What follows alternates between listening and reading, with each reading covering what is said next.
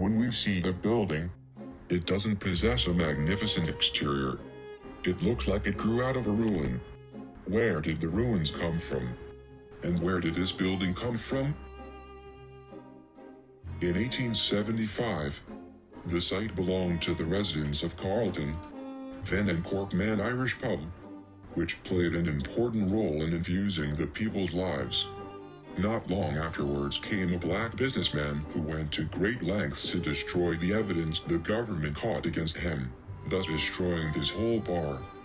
The residents of Carlton had negative feelings towards the government because of this incident.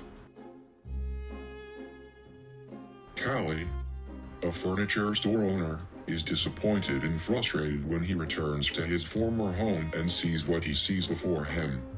However, he decided to build a new building, a furniture store, in order to make the residents forget about their unpleasant and dark history for a while.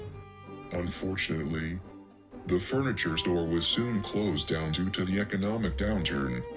The ruins were gradually forgotten, and so were the inhabitants of Carlton.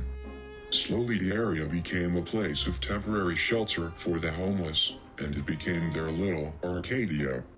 Arcadia is kind of like Morandi painting persistent, provocative intent. Once it collapses, we have nothing. Like Earth wanderers enjoying the resources of the earth.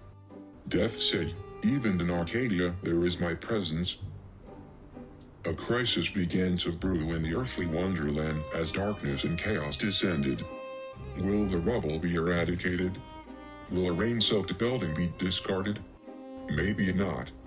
They will be retained and thus egalitarianism will be achieved. Capital determines the height, determines the crowd, determines the right to use, and there is an implicit inequity in every stack of tall buildings.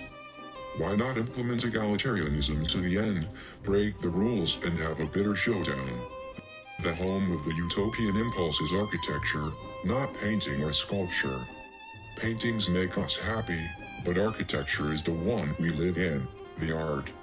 It is a social art par excellence, a body of political fantasy, the economic dreams of people. The exoskeleton of the realm. It is also an art that no one can escape. The new building is a completely open space where people and art can have a dialogue.